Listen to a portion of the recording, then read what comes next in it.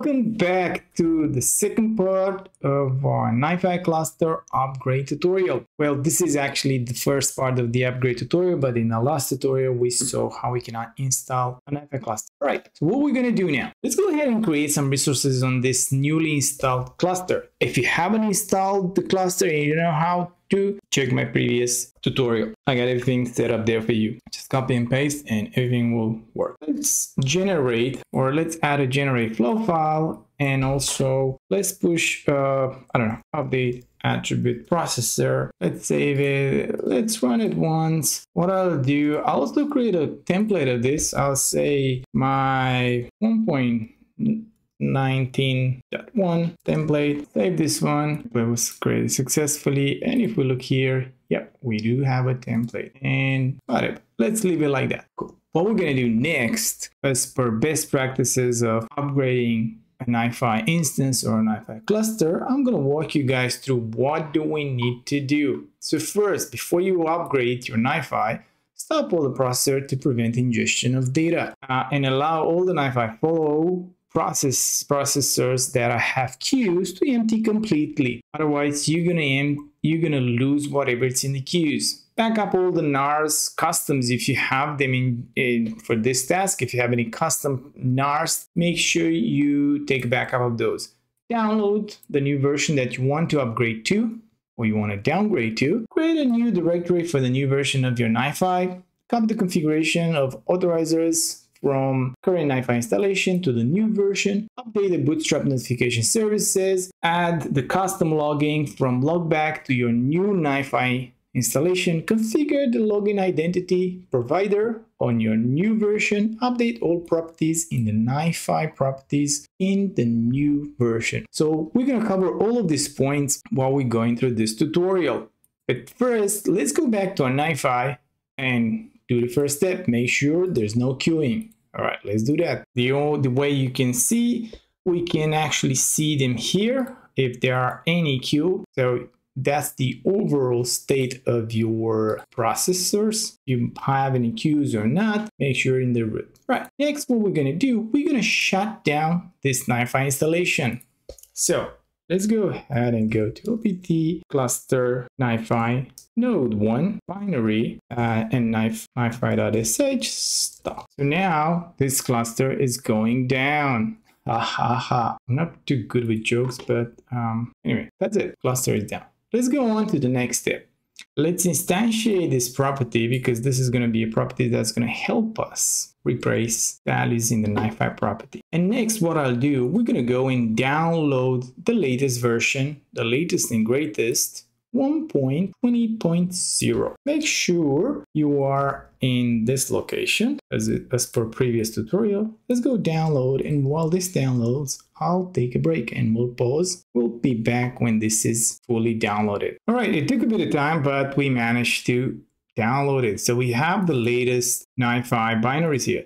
So let's go ahead first and create a new folder location for this installation, unzip everything inside there. Next, what we'll do, we're gonna cover all the resources, I mean, not cover, we're gonna copy the authorizers, we're gonna copy the bootstrap notification, logback, login identity, state manager, management, flow, XML as well. So what does the authorizer do or what do we use it for? For those who don't know, basically it's a configuration file used by NiFi to define the user authentication and authorization mechanism. So the Bootstrap notification is it's a configuration file used by NiFi to define how to send notification and to whom. So if you use this by default, don't stress about it. But if you go into more depth, um, let's say use of NiFi, you kind of know, you kind of need to know what those configurations are. Logback, it's used uh, by Logback, a Java-based logging framework, and NiFi employs that. The login identity provider, the login identity provider, it's used to configure different ways in which user can be authenticated when using or logging into NiFi. Example is LDAP or OpenID Connect providers. The state management, it's used to configure the state management settings. It defines how the application state is managed and persistent, including data such as flow configuration, component status, and user information. And finally, the flow XML.gz. I think this is the most important part when you're looking into doing an upgrade. Well, it's the file used by NiFi to store the data flow configuration of a particular instance or a particular cluster. It contains the definition of all the processors and all the assets you currently have in your NiFi installation. By default, NiFi creates this file when it starts first time. And then every time a change happens in the flow, it will update the particular file. Um, it's the most common use case to transfer the data flow from one configuration to another. So let's go ahead and run the script here. Basically, we'll in this example, we're going to copy from the existing node cluster, which is a 1.19.1 to the new installation. So let's go ahead and run this command. Next, what we'll do, I have prepped up a function, a bash function that will help us to move properties between my old NiFi properties file, which is the bootstrap and the new NiFi installation. Why did I have, why, why won't I overwrite? What happens with each version? Um, new parameters are added. So if you would to add, um, let's say if you to copy one particular file over another from a newer version, you will probably drop some new parameters. So what this particular script does, it loops over each of the file and will create replacement commands on the existing attributes or parameters that come from my source. And in case I have any new attributes or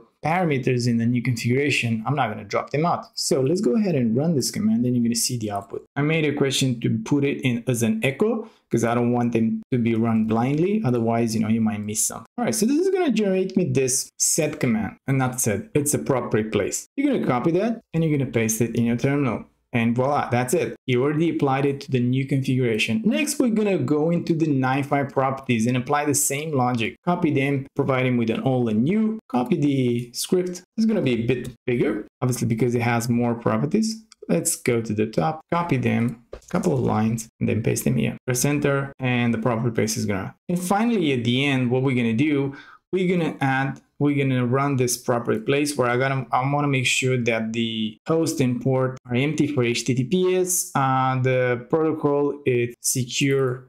It's set to false. My HTTP uh, port and host are set to these values and that's my sensitive property. And at the last, we're gonna comment some of the properties. Since I'm running it in an unsecure manner, I need to comment these properties. Otherwise, the installation will fail or it will bitch about not having some keys set. Great, so now what we're gonna do now, we're gonna start our newly installed installation and we're gonna open and see if it's still part of the cluster. Like, I mean, we're gonna open the same, uh, we're gonna open the same UI.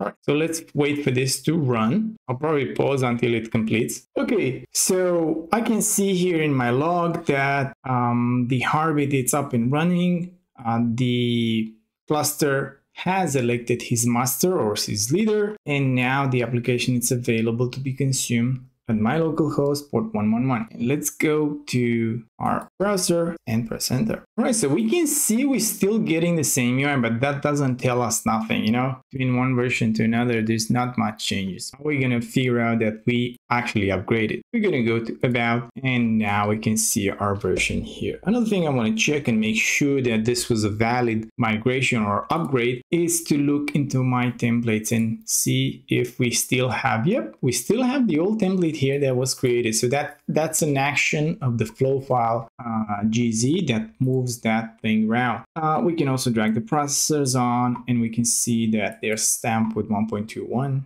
and the number of processors obviously increased. Uh, let me look at one processor that, yeah, so you see this is something that was added to the latest version. So basically that is a wrap on how you can upgrade a cluster to a newer version.